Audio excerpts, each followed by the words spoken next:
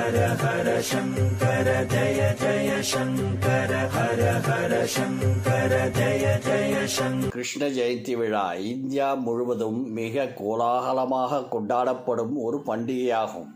இது கிருஷ்ண அவதாரத்தை போற்றும் நன்னாள். இந்நாளில் கிருஷ்ணரை குழந்தையாக பாவித்து அனைவரும் வழிபடுவார்கள். கிருஷ்ண பிறந்த மதுர நகரமே விழாக்கோலம் பூண்டிருக்கும். நீண்ட வரிசையில் நின்று குழந்தை கிருஷ்ணரை பக்தர்கள் வழிபட்டு செல்வார்கள். கிருஷ்ண ஜெயந்தி அன்று கிருஷ்ணரை வழிபடுவதால் நம்முடைய பாவ வினைகள் நீங்கும் விருப்பங்கள் நிறைவேறும். குழந்தை இல்லாதவர்களுக்கு குழந்தை பேறு அமையும். மகிழ்ச்சியான நிறைவான செல்வ வளம் மிக்க வாழ்க்கை ஏற்படும் என்பது நம்பிக்கை. இதனால் கிருஷ்ண ஜெயந்தி விழாவை அனைவரும் ஆவலாக எதிர்பார்ப்பதுண்டு. கிருஷ்ண பகவான் கிருஷ்ணர் அவதரித்த தினத்தையே கிருஷ்ண ஜெயந்தியாக நாம் ஆண்டுதோறும் கொண்டாடுகிறோம். ஆவணி மாதம் தேய்பிரையில் அதாவது பௌர்ணமிக்கு பிறகு வரும் எட்டாவது திதியான அஷ்டமி திதியும் ரோஹிணி நட்சத்திரமும் இணைந்து வரும் நாளில் பகவான் கிருஷ்ணர் நள்ளிரவில் சிறைச்சாலையில் அவதரித்ததாக புராணங்கள் சொல்கின்றன. தீமைகளை அழித்து தர்மத்தை நிலைநாட்டுவதே கிருஷ்ண அவதாரத்தின் நோக்கமாகும். அன்பு ஒற்றுமை ஆன்மீக வளர்ச்சி ஆகியவற்றை உணர்த்துவதே கிருஷ்ணரின் வாழ்க்கையாகும். கிருஷ்ணர் அவதரித்த தினத்தை கோகுலாஷ்டமி ஜென்மாஷ்டமி கிருஷ்ண ஜென்மாஷ்டமி ஸ்ரீ அஷ்டமி என பல்வேறு பெயர்களில் நாம் கொண்டாடுகின்றோம். இந்த நாளில் குழந்தை இல்லாதவர்கள் மட்டுமன்றி அனைவரும் கிருஷ்ணரை விரதமிருந்து உண்மையான பக்தியுடன் வழிபட்டால் அனைத்து துன்பங்களில் இருந்தும் விடுபடலாம் என்பது நம்பிக்கை. இந்நாளில் கிருஷ்ணரை பாதம் வரைந்து நம்முடைய வீட்டிற்கு அழைத்து அவருக்கு விருப்பமான பலகாரங்கள் படைத்து பூஜை செய்வது வழக்கம். இந்த ஆண்டு கிருஷ்ண ஜெயந்தி ஆகஸ்ட் இருபத்தி ஆறாம் தேதி கொண்டாடப்படுவதாக கேலண்டர்களில் குறிப்பிட்டுள்ளது. காலை ஒன்பது பதிமூன்று மணிக்குத்தான் அஷ்டமி தேதி பிறக்கிறது.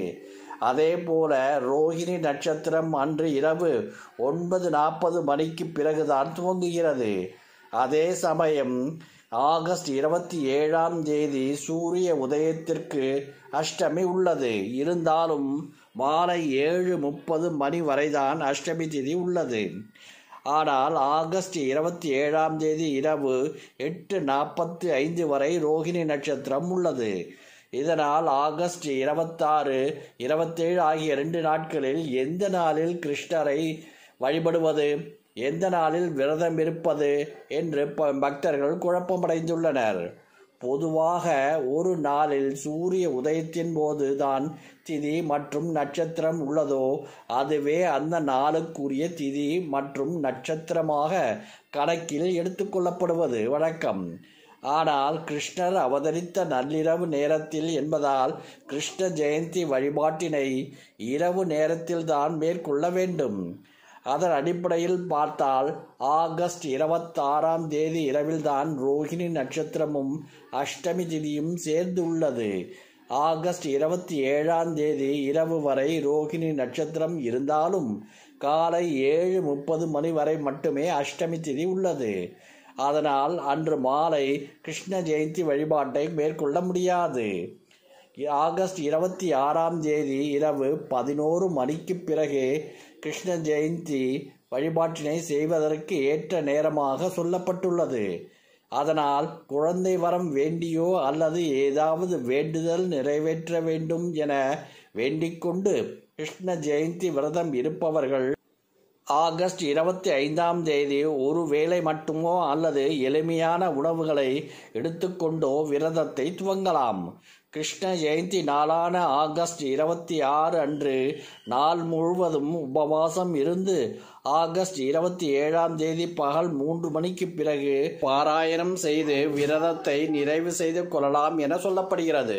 हर हर शङ्कर जय जय शङ्कर हर हर शङ्कर जय जय शङ्कर